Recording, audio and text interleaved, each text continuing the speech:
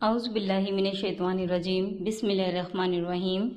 अस्सलाम वालेकुम dear students मैं आपकी teacher from Allied School Superior Bahria campus Lahore आपसे मुखातिब हूँ। आज मैं आपके लिए एट वीक की इस्लामियात की वीडियो के साथ आपके लिए हाजिर हूँ। हमारा आज का सबक है हजूर अक्रम वसल्लम के इखलाक सबसे पहले अपने सबक के बारे में थोड़ी सी बातचीत करेंगे उसके बाद अपनी पढ़ाई शुरू करेंगे। बच्चों, हमारे प्यारे नबी सल्लल्लाहु अलैहि वसल्लम इखलाक के बुलंद तरीन मरतबे पर फाइज हैं। आप वसल्लम का इखलाक हमारे लिए बेहतरीन नमूना है। आप सल्लल्लाहु अलैहि वसल्लम बड़ों, बच्चों, बुज़ुर्गों, यहाँ तक के जानवरों से भी बहुत नरमी से पेश आते थे। हमेशा मुस्कुरा कर नरम लहजे में बात फरमाते ताकि सुनने वाले को समझ में आ जाती। इसलिए हमें चाहिए कि हम भी अल्लाह और उसके रसूल के तरीक़ों पर अमल करके अपनी ज़िंदगी को बेहतर बना सकें। पढ़ाई शुरू करते हैं।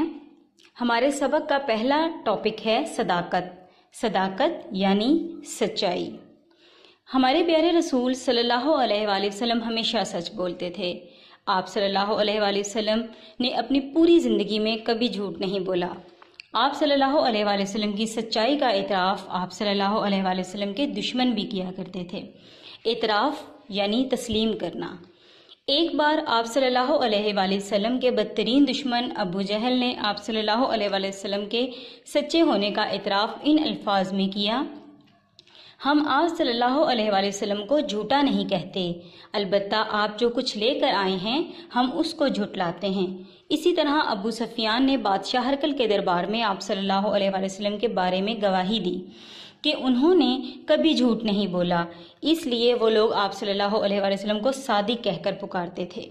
सादिक यानी सच्चा। बच्चों, इस पैराग्राफ में हजूर सल्लल्लाहु अलैहि वसल्लम के बारे में बताया गया है कि आप सल्लल्लाहु अलैहि वसल्लम ने कभी झूठ नहीं बोला, अपनी पूरी ज़िंदगी में कभी झूठ नहीं बोला। यहाँ तक कि आप सल्लल्लाहु अलैहि वसल्लम के जो दुश्मन थे, वो भी आपकी सच्चाई का इतराफ़ करते थे, मानते थे कि आप सल्लल्लाहु अलैहि वसल्लम कभी झूठ नहीं बोलते। और इसी वजह से, सच्चाई बोलने की वजह से आप सल्लल्लाहु अलैहि वसल्लम को सादी कहकर पुकारा जाता था। दूसरा टॉपिक है हमारा अमानत व दयानत। हजूर अक्रम वसल्लम इब्तदाई उम्र ही से सारे अरब में अपनी अमानत और दयानत की वजह से मशहूर थे। इब्तदाई यानी शुरू। कुरैश को आप सल्लल्लाहु अलैहि पर इस हद तक एतमाद था, एतमाद यानी यकीन कि वो अपनी मुखालफत और दुश्मनी के बावजूद अपना माल और दिगर अमानते आप सल्लल्लाहु अलैहि वसल्लम के पास रखते थे और आप सल्लल्लाहु अलैहि वसल्लम को अल अमीन कहकर पुकारते थे। अल अमीन यानी अमानतदार। बच्चों, इस पैराग्राफ में आप सल्लल्लाहु अलैहि वसल्लम की अमानत और दयानत के बारे में बताया गया है कि आप सल्लल्लाहु अलैहि वसल्लम ने कभी अमानत में ख़यानत नहीं की। यहाँ तक कि जो दुश्मन थे, जो हर वक्त आपसे जंग करने के लिए तैयार रहते थे, वो भी अपनी अमानतें आप सल्लल्लाहु अलैहि वसल्लम के पास रखवाते थे। तीसरा टॉपिक है हुसन सलूक। हमारे प्यारे नबी सल्लल्लाहु अलैहि वसल्लम इखलाक के बुलंद तरीन मरतबे पर फाइज हैं। आप सल्लल्लाहु अलैहि वसल्लम का इखलाक हमारे लिए बेहतरीन नमूना है। हजूर सल्लल्लाहु अलैहि वसल्लम बच्चों, बड़ों, रिश्तेदारों और पड़ोसियों के साथ नहायत मोहब्बत और शफकत का बर्ताव करते थे। बर्ताव यानी सलूक। आप सल्लल्लाहु अलैहि वसल्लम हमेशा मुस्कुराकर नरम लहजे में बात फरमाते, किसी को बुरा ना कहते, कभी अपनी ज़ात के लिए किसी से बदला ना लेते, कभी अपने दुश्मनों से भी किसी से बदला ना लेते, बल्कि अपने दुश्मनों से भी हमेशा अच्छा और नेक सलूक करते और हमेशा उनके हक में दुआएँ खैर फरमाते। एक दफ़ा आप सल्लल्लाहु अलैहि वसल्लम ताइफ तशरीफ़ ले गए।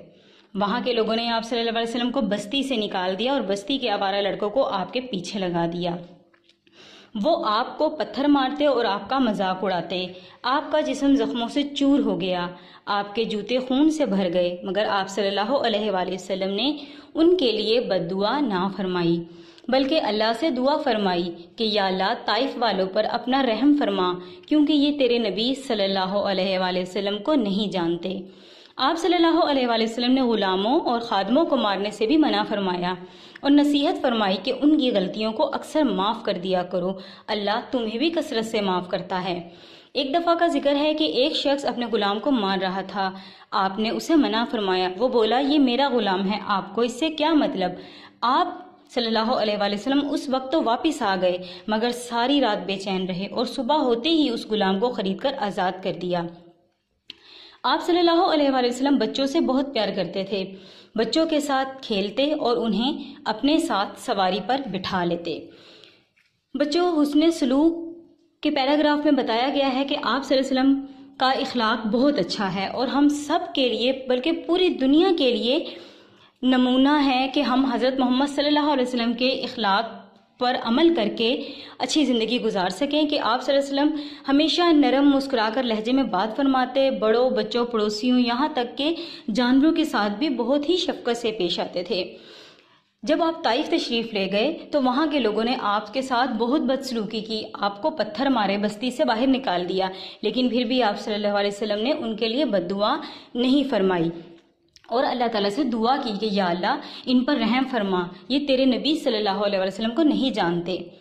और आगे आप सल्लल्लाहु अलैहि वसल्लम ने गुलामों और खादमों को मारने से भी मना फरमाया है। आप वसल्लम बच्चों से बहुत प्यार करते थे। उसके बाद है रवादारी। रवादारी का मतलब है लिहाज करना। रवादारी से मुराद किसी का लिहाज करना या किसी को कोई ऐसी बात बर्दाश्त या किसी की कोई ऐसी बात बर्दाश्त करना जो हमारी बात या सोच के खिलाफ हो। मसलन इस्लाम के सिवा किसी और मज़हब रखने वाले शख्स की बात सुनना और उसे अपने अकीदे पर कायम रहने का हक देना रवादारी है। रवादारी का मतलब ये नहीं है, ये नहीं कि हम दूसरों को इस्लाम की दावत ना दें। दीन इस्लाम को फैलाना हमारा फ़र्ज़ है। हमें चाहिए कि हम अच्छे अंदाज में दूसरों को इस्लाम की दावत दें। उसके बाद वो इस्लाम कबूल करें या ना करें, ये उनकी अपनी मर्ज़ी है। हमारे प्यारे नबी सल्लल्लाहु अलैहि वसल्लम रवादारी में अपनी मिसाल आप थे। एक दफ़ा निजरान के ईसाइयों का एक वफ्त नबी करीम सल्लल्लाहु अलैहि वसल्लम की खिदमत में हाजिर हुआ। इस वफ्त वफ्त का मतलब होता है नुमाइंदों की जमात। में उनके मजहबी रहनुमा भी शामिल थे। हजूर सल्लल्लाहु ने उन्हें इस्लाम की दावत दी। उन्होंने इस दावत को कबूल ना किया। लेकिन हजूर सल्लल्लाहु ने उन्हें इस्लाम कबूल करने पर मजबूर ना किया। बच्चों, इस पैराग्राफ में बताया गया है, लिहाज के मुतलिक बताया गया है कि कैसे लिहाज हम कर सकते हैं। जैसे अगर कोई हमारे मज़हब का हो या दूसरे मज़हब का हो, उसको अपने मज़हब पर लाने के लिए हमें चाहिए कि प्यार मोहब्बत से उसको समझाएँ और उसकी बात को भी सुने। फिर अगर वो मानता है तो ठीक है तो नहीं मानता तो उसकी अपनी मर्ज़ी है, लेकिन उसको मजबूर नहीं करना। उसके बाद है सब्र तहमुल सब्र के मायने हैं अपने आप को काबू में रखना, तकालीफ बर्दाश्त करना। तहमुल के लफ्ज़ी मायने भी बर्दाश्त करने के हैं। इसलिए तहमुल का लफ्ज़ भी आम तौर पर सब्र के साथ इस्तेमाल होता है।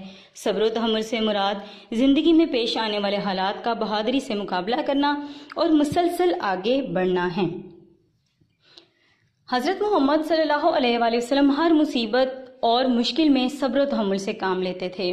अल्लाह ताला ने दीन इस्लाम का पैगाम फैलाने का जो काम आप सल्लल्लाहु अलैहि वसल्लम के ज़िम्मे लगाया, उस काम की तकमील में हमारे प्यारे नबी सल्लल्लाहु अलैहि वसल्लम को हर किस्म की तकलीफ़ से दो चार होना पड़ा। कुफार मक्का, आप सल्लल्लाहु अलैहि वसल्लम पर आवाज़ें कसते, आप वसल्लम के रास्ते में कांटे बिछाते, आप पर कूड़ा किटकिट फेंकते। आप खाना काबा में नमाज़ अदा करने जाते तो आप सल्लल्लाहु अलैहि वसल्लम को मुख्तलिफ़ तरीक़ों से तंग करते, मगर आपने कभी उफ तक ना की। ताइफ के मौका पर जब लोगों ने आप वसल्लम को लहू लुहान कर दिया, उस वक्त भी आपने सब्र तहमुल से काम लिया और अल्लाह ताला से उन लोगों के हक में दुआ फरमाई।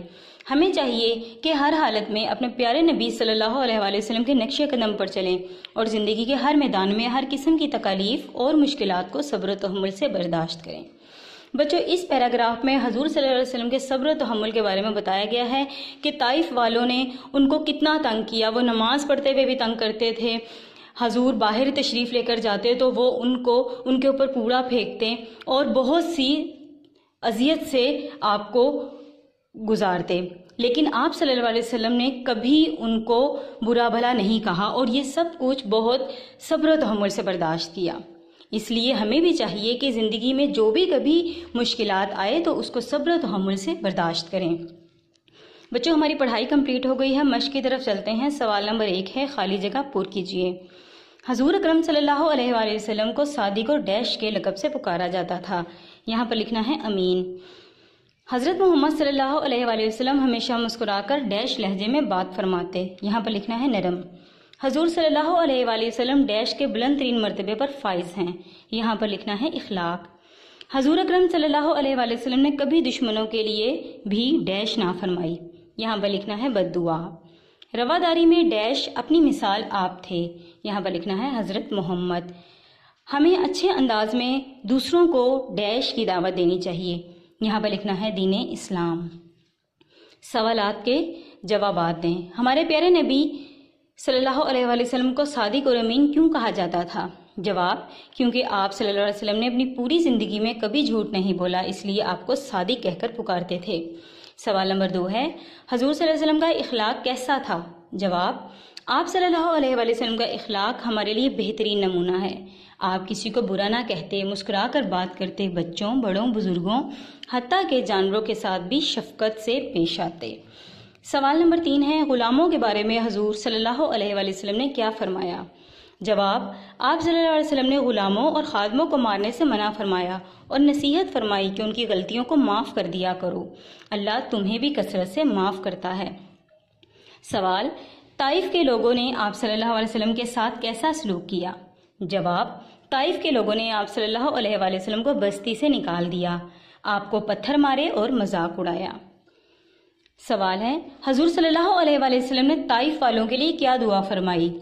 जवाब, आप सल्लल्लाहु वसल्लम ने दुआ फरमाई कि, या अल्लाह, ताइफ वालों पर अपना रहम फरमा, क्योंकि ये तेरे नबी सल्लल्लाहु अलैहि वसल्लम को नहीं जानते। सवाल, रवादारी से क्या मुराद है? जवाब, रवादारी से मुराद किसी का लिहाज करना या किसी को कोई ऐसी बात बर्दाश्त या किसी की कोई ऐसी बात बर्दाश्त करना जो हमारी बात या सोच के खिलाफ हो।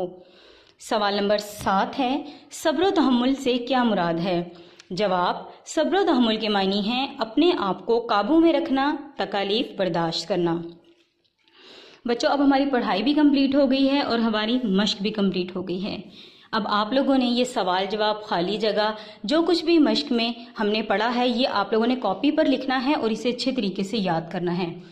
इनशाला जब खैर खैरी से स्कूल ओपन होंगे तो मैं आप लोगों का काम चेक भी करूँगी और आप लोगों से ये सबक सुनूँगी भी। थैंक यू स्टूडेंट्स अल्लाह हाफिज़।